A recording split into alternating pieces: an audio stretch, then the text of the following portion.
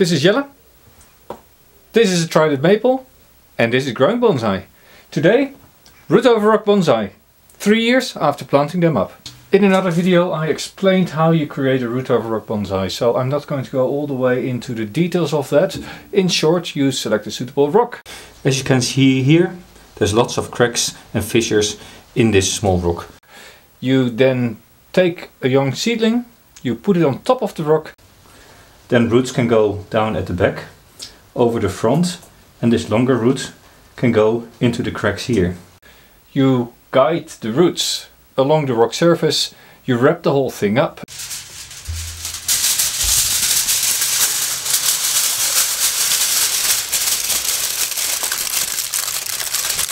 And then you plant it in a pot and just let it grow. Now this let it grow. Um, here I didn't just let it grow. As you can see I actually wired out the main trunk of this little plant. Um, you can see it has just been in this pot for the last two, maybe three growing seasons. And yeah, it's now time to have a look at what the roots have done since. Now, that's one. This one is the same story. Except for I didn't do all that much to the main trunk. I just let the main trunk grow as it is. Now I would like to take these out of the pot. I'm going to remove the wrapping from the rock. I'm going to look at the roots guide the roots back into the positions where I want them to have in case some roots have gotten weak and then plant the whole thing up and let it grow for another two years. Let's get started.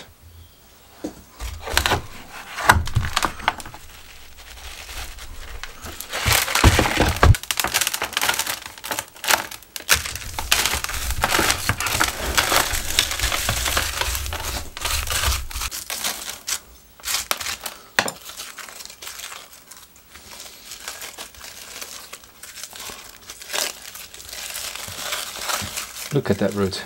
That's a fatty. You can see that the main trunk and the root here are really starting to get a hold of the trunk, uh, of the rock. The rock and the trunk should become one over time.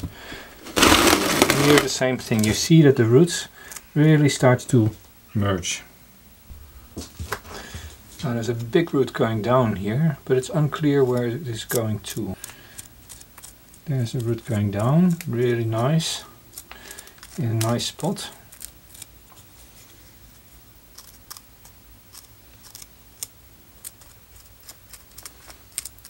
There's a root going down. I think that the base of the roots now here along the rock surface have attached themselves well enough. I can actually wrap it up to here and leave the rest above the ground already. That's what I'm going to do now. To stimulate these finer roots here on the rock surface, I'm going to remove the very long, thicker ones that grow down. Um, these thicker ones have aided in developing the thicker roots higher up. But if I want to get these young ones to grow out further, I need to reduce their effectiveness. So, clipping off the beard. There's a thick root here that I don't want, just like that. Here, this is a thick root coming off the root surface, going off. Not going to pull too much, if you pull a lot, you run the risk of just pulling all the roots off the surface. So I'm just going to trim the roots that stand out back. In a year or two, when I repot again, I'll do a more proper pruning of the roots. But for now it really is for further development. This is a root that comes from here, goes down and ends up here, which is actually really nice. I want this to stick on there, but not this side root, just like that. The reason why I like this is because this is one of those roots that later on will secure the tree to the rock. As said, removing the long stuff that comes off the rock and the thicker ones that stand out. This does set root development back a little bit. But it's not about getting big roots as fast as possible, it is about getting a fine web of roots along the rock surface.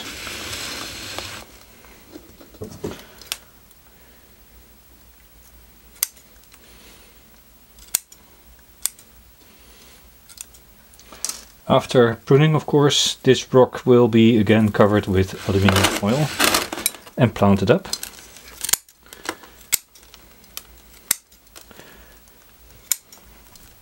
really try to find the big main roots as they come off the rock and trim them back at the rock.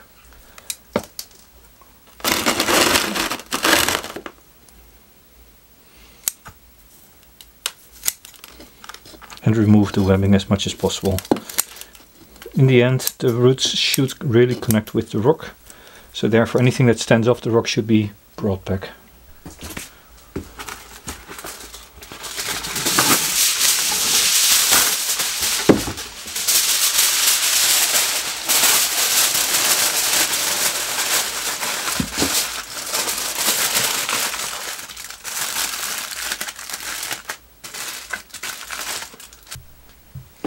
Because the roots are still very soft in this area I covered it up as well. And now just to make sure that the bloody birds don't make a mess of things here as it is growing together a little bit of netting. Let's see whether I can manage to do this. So I'm going to look at the roots because if you let these grow for a long time you run the risk that some roots get really really strong and others don't develop at all. And in the end, a good root over rock has a nice distribution of roots all along the whole rock, rock surface. Um, so let's see. Let's take this out of the pot.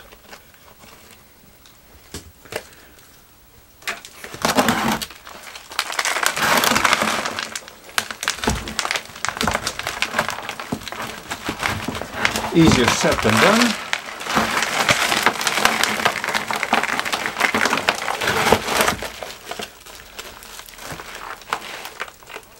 There's a good amount of roots here also on the outside.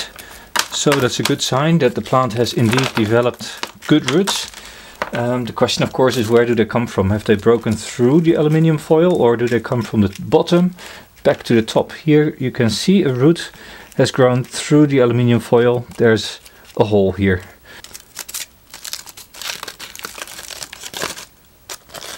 Some nice roots here starting to develop. That's really, really nice. But you can see that the foil has really done its job and the roots are following the surface as much as possible.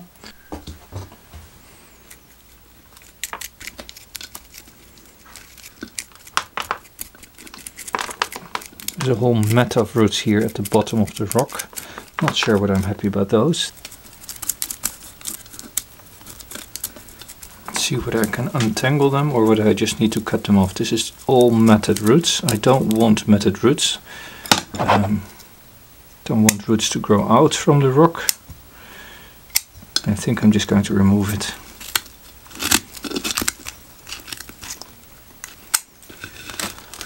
You can see here on this side that this is the place where most of the rocks, uh, the roots have grown. This is one I'd like to remove. In the end I want matted roots of course at the bottom of the rock for the final planting. So I'm not removing everything.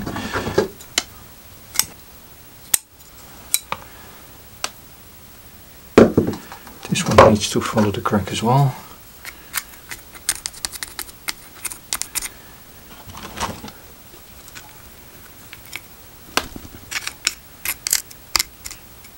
So clearly uh, this tree is on the right way.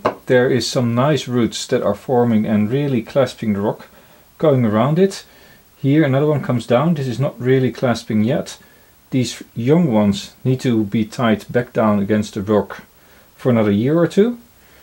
If I look at the other, other side here, um, here you see that there's a root, root that really has started to fuse with the rock going down the crevice into the substrate with a few side roots that also are starting to fill the crevice.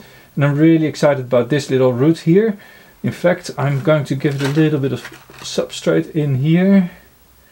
Maybe I should add a little bit of fertilizer here as well so that this roots develops and really fills this crack. I'm going to put some aluminium foil around the rock, push it into these crevices and put it back into this pot, plant it up a little bit higher, maybe up to here and let it grow for one, maybe two more years.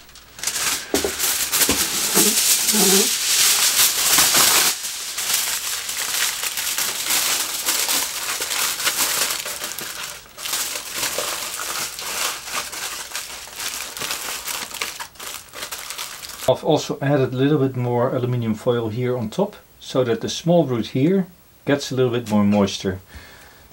No time like today, let's put this whole thing back in its pot.